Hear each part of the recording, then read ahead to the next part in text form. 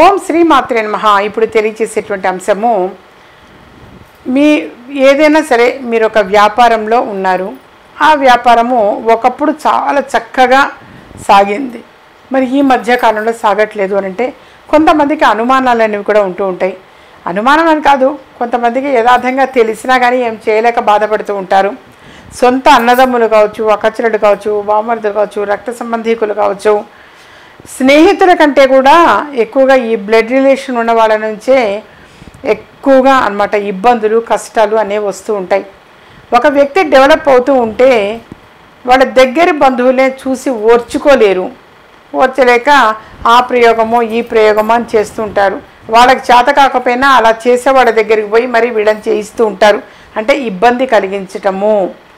అలా చాలామంది కూడా చేస్తూ ఉంటారు. అలా ఇబ్బంది కలిగిస్తూ ఉంటారు.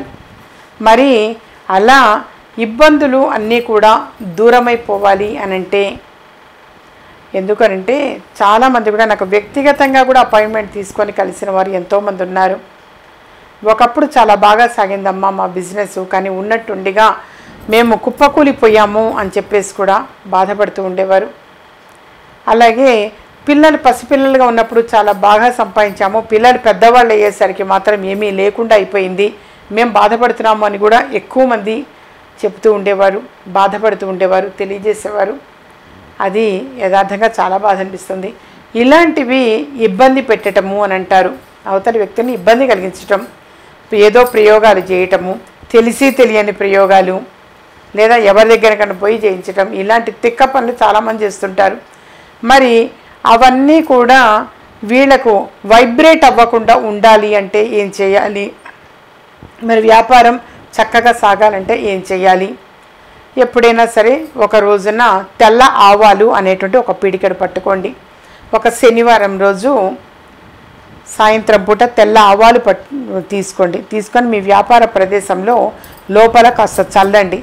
మరి కాస్త ఆ వ్యాపార ప్రదేశం బయట మీ ప్రెమిసెస్ ఎక్కడైతే నడుస్తూ ఉంటారో అలా ఆ బయట కూడా కాస్త చల్లండి. చల్లేసి తాళం వేసేసి మీరు వెళ్ళిపోండి. మీరు ఆదివారం ఉదయమో సోమవారం ఉదయమో ఎప్పుడైతే ఓపెన్ చేస్తారో అప్పుడు అదంతా కూడా చిమ్మి డస్ట్బిన్లో పడేయచ్చు.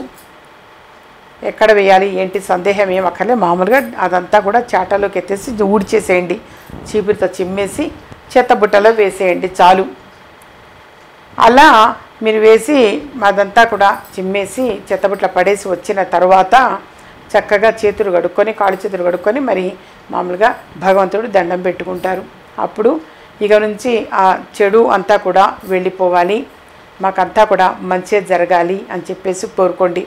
ఆ ఆవాలు వేసేటప్పుడు కూడా తెల్లవాళ్ళు చల్లేటప్పుడు కూడా నృసింహస్వామిని తలుచుకొని వేయండి మీరు. యథార్థంగా నృసింహస్వామిని తలుచుకోండి. అంటే నరసింహస్వామిని తలుచుకొని చల్లండి. ఓం నరసింహస్వామి ఏ నమః అనుకోండి. లేదంటే ఇంకేదైనా మంత్రం వచ్చిందనుకోండి ఆ మంత్రాన్ని చదువుకోండి. కరాలంబ స్తోత్రాలు ఏదైనా ఒక మంత్రాన్ని చదువుకోండి. లేదా ఉగ్రం వీరం మహావిష్ణుం జ్వరంతం సర్వతోముఖం నృసింహం భీషణం భద్రం మృత్యు మృత్యుం నమామ్యహం. అలా చదివైనా సరే వేయచ్చు. లేదా ఒక మంత్రము. ఏ మంత్రమో మాకు కాదమ్మా అనుకుంటారా? ఓం నరసింహస్వామి ఏ నమః అనుకోండి. అలా అనుకొని చల్లనిసేయండి ఇప్పుడు నేను ముందు చెప్పినట్టుగా ఆదివారమో సోమవారమో ఎప్పుడైతే మీరు వ్యాపార ప్రదేశానికి వస్తారో అప్పుడు చీపిరితో ఊడ్చేసి అవి మొత్తం కూడా చాటలోకి ఎత్తి చెత్తబుట్టలోనే వేసేయండి. కాళ్ళు చిత్తులు కడుక్కొని వచ్చి భగవంతుడికి మరోసారి దండం పెట్టుకొని చక్కగా మీరు ఏదైతే ఊది కడ్డీనా సాంబ్రాణినా ఏది వెలిగిస్తారో అది వెలిగించి ఆ ప్రదేశం మొత్తం కూడా చూపించండి నాన్న దీనివల్ల యథార్థంగా అన్నమాట దృష్టి దోషం అనేది పోతుంది. ఎటువంటి ప్రయోగాలున్నా పోతాయి. ఇంకా ఇంకా ఇంకా మేము చాలా బాధపడుతున్నామమ్మా ఏదైనా సరే మీ చేతి మీదుగా బ్లెస్ చేసి ఇవ్వండి అని అంటారా? ఎప్పుడైనా మీరు కలవటానికి ప్రయత్నం చేయండి.